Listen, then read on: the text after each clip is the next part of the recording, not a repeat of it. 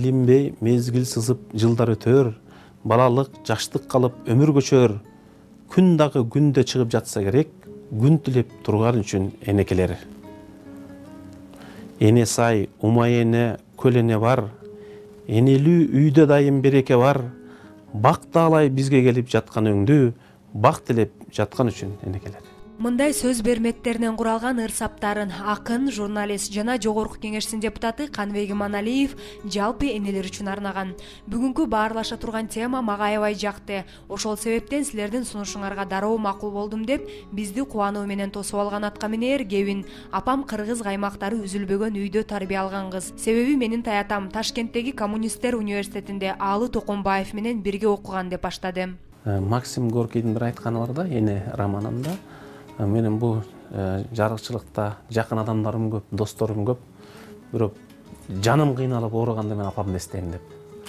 Биздин апабыз азыр жетимиш алтыда үч эркек бир кыз болуп жалгыз уул болуп өсүп арабаев кыз келиндер институтунда химфакта окуп жүрүп үчүнчү курстан турмушка чыккан экен анан кийин эле билип калдым бир үч төрт жыл болду студент кезинде кыргызстанда чуркоо боюнча биринчи орунду алып анан кийин москвага эмеге кетерди чемпионатка кетерди. Атам жаңы үйлөнгөн экен жибербей койгон экен да. Атабыз өтүп кеткен эмне жылы он жыл болот анан апабыз ошо мектепте иштеген чарбалык жумуштарда иштеген э, жети уулду тарбиялап өстүрдү төрт эркек үч кыз азыр э, небере чөбөрөлөр менен ушу отузга жетип калды өмүр бою апабыз атаңар урушат атаңар урукса эмне дейт деп тарбиялап анан атам кайтыш болгондон кийин ойлонсом атам мени бир да жолу урушпаптыр колу тиймек түгүн сөз айтпаптыр да эненин баягы акылмандыгын карабайсызбы атанын сүрү менен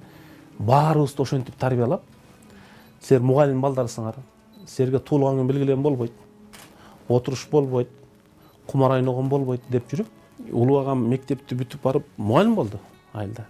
Ошондо дагы тамекисин атама көрсөтпөй тартчу да үйлүү болгондон кийин да. Анан азыр деле атам жок бирок бир нерсеге бараарда атам көрүп калса атам угуп калса эмне дейт деп мисалы үчүн мен карта ойнобойм казиного барбайм а тургай бильярд ойноону дагы мен атабыз түшүнчү бул да кумар сыяктуу түшүнчү да ошону ойногула дечи да азыркы күндө бильярд бул спорт а бизде атабыз ошондой тарбиялап койгон азыр мен бильярд ойногонго барбайм биз жети бир тууган он бир жогорку билим алдык үч төртөөнүн экиден жогорку билими бар ошондо дагы ал убакта биз эми кийинки муун болуп калдык менин агам эжемдерди окуу өткөзүү өтө кыйын болчу ушу бишкекке келип кайсы окууну тандаганыбызга иш жүзүндө чуркаган апабыз болду ар бир сөзүнө ыр менен мисал келтирип сүйлөп отурган каарманымды акын катары да тааныйбыз анын калем кармап ыр жазып калуусуна апасынын салымы чоң. Биздин мектепке кирип баратканда бет жагында политбюронун мүчөлөрү брежнев косыгин черненко оң жагында он сегиз космонавттын сүрөтү бар эле мен ошо космонавттын баарын жатка билчүмүн себеби өзүм да космонавт болом деп ойлошом.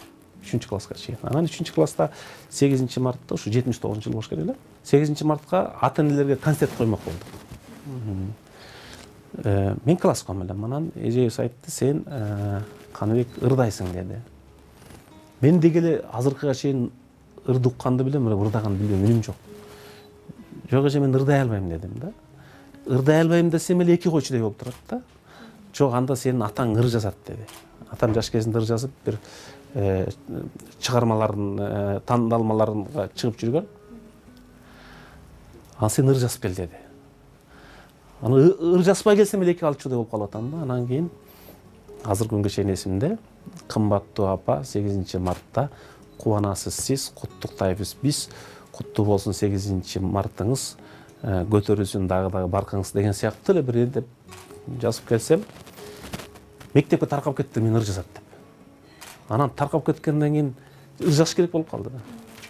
Анан жазып баштадым анан кыргызстан пионерине чыкты ошо биринчи жолу ырым апам арналып ошого себепчи болгон биринчи мугалимим ошо экинчи үчүнчү класста болушубуз керек. Тиги чыныбек деген классташым дептери калып калып үйүнө кетти да. Кетти анан кийин сабак учурунда кирип келип эле кичинекей эмес чоң ысык борсоктоп келип эле классыбызда эжейдин көзүчү мени астына баштады каныбек апасы берип жиберди деп. Апам ушул бир жерде тойго түлөөгө даярданып борсок бышырып атса керек. Анан ошондон балам ала бар десе керек да укмуш кызарганымды укмуш уялганымды айтпаңыз кыздардан классташтарым бол борсокту бөлүп жеп кетишти да баягы эненин мээримин эч нерсе менен тосуп кое албайсың да анан мен тиги классташыма да жиним келди танаписке чейин күтө турбайбы жок дегенде деп ошондой күндөр болгон баягы ар ким азыркы деле менин уулум классташтарын достору көрүшкөндө өтө эркелеген бала болуп көрүнгүсү келбейт да а үйгө барганда кичинекей эле бала да апасынын эрке баласы болгон каныбек мырза ата энемдин эл караган жүзүн жер каратып уят кылган эмесмин бир гана жолу апам мени аскерге жибербейм десе болбой кетип калгам ошондо энем аябай капа болгон бирок анын да себеби бар эле дейт. Мен аскерге кетип атканда менден улагам афганистанда кызмат өтөгөн да. Анан ошондо кандайдыр бир жобо бар эле. Эгерде афганистандан ошол жарадар болуп келсе экинчи баласы аскерге барбай койсо болот деген сыяктуу. Анан менин агам афганистанга барып келген экинчи группада майыпкер тогуз ай больницада жаткан эки үч жолу операция болгон ошондо агам айтып калды мен сени аскерден алып калайын деп. Мен болбой кетип калдым да анан апам ошондо капа болуп аскерде жүргөндө мага келген каттарды чогултуп жүрдүм. Бир посылканын ящиги толду да анан кетээрде баарын ыргытып аякта кыздардан да келген каттар болчу. Апамдын каттарын канап келдим кайра өзүм менен? Ошол күнү бүгүн жанымда. Ошо сексен алтынчы жылы жазган каттары андан бери дээрлик мына отуз жылга жакындап калыптыр бир эненин мүмкүн ар бир эненин бир умай энеге жакын касиети болот да муну мен эки мисалда айтып берейин дегем ушуну кесипке бериш керекпи аскерде жүрдүм өтө суук жер ооруп калдым абдан катуу ооруп калдым дем ала албай калдым да. Тамак оозду жапсам мындай муунуп да. Ушунча абалга анчалык ооруган эмесмин терге анан кийин эстедим мен аскерге барганда апам койдун майын салып жиберген экен анан бир чети ирэнжидим көңүлүм ушу эми кемпир ушуну салбай эле койбойбу аскерде жүрсөм посылкага себеби биз бала кезде ооруп калсак апам ошо койдун майы менен эле дарылатчу тамак ооруп атат да. Анан суук тийип калган экен деп ысык суу ичсем о котуруп чыкты анан оюма баягы апам салып жиберген койдун майы эсиме түштү да. Анан баягы апабыз үйрөткөндөй сүткө сапырып ичип бир сыйкырчы дарылагандай даяр болдум да. Анан кийин ойлодум апам ошол жакта жүрүп билсе керек мен ушинтип ооруп калам ошон үчүн жиберсе керек деп. Эки жыл бою ошону сактап жүрүп кыргыз балдары ооруп калса мен ошону дарылап жүрдүм анан ойлоп койгом да врач баягы билимге таянып дарылайт да. А эне энелик жүрөк менен дарылайт да. Эненин дарысындай дары жок деп ойлойм да ошондон кийин ошо аскерден келгенден эки жылдан эме абдан жакшы кабыл алган кудайга шүгүр сүйүнүп кабыл алган бирок мен үйлүүмүн мен деле бала окуралы болдум бирок дагы эле мен эң кичүү бала деген статустамын апам үчүн өтө бала да өзүнүн балдарын гана эмес кичине кээ балдар болсо дагы мурун айылда жүргөн келди эле анан жайында алып барабыз да ошондо коңшу колоңдун балдарын баары келишет апам менен учурашкан кичинекей балдар мүмкүн ошо балдарга жакындыгымбы анан апабыз абдан эмгекчил мээнеткеч ошо мен бала кезде эле билем. Күндүз баягы үйдүн сыртын жууша кечинде дайым. Же ий кийрийт же кыстарына төшөк каптайт же тиги шырдак урат